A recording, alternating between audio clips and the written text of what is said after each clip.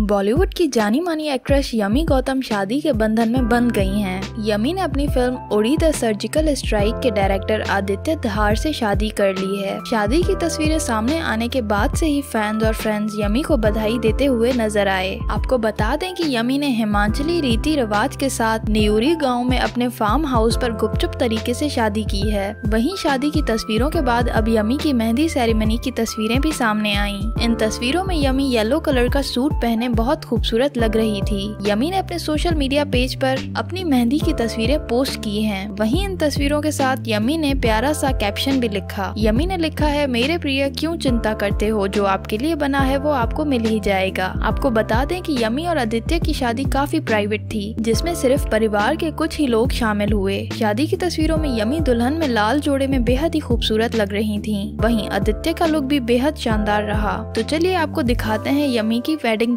scriptures.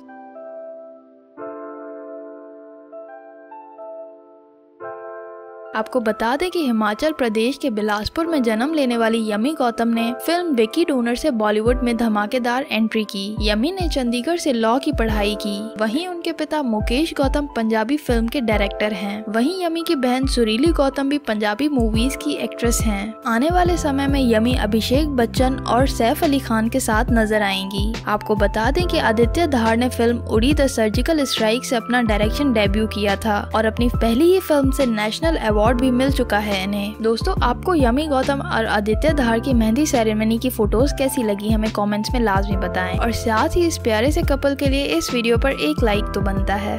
अगर आपको ये वीडियो पसंद आई है तो इसको लाइक करें और अपने दोस्तों के साथ शेयर भी करें। और हमारे फेसबुक पेज इंस्टाग्राम पेज और वेबसाइट को विज़िट करना मत भूलिएगा।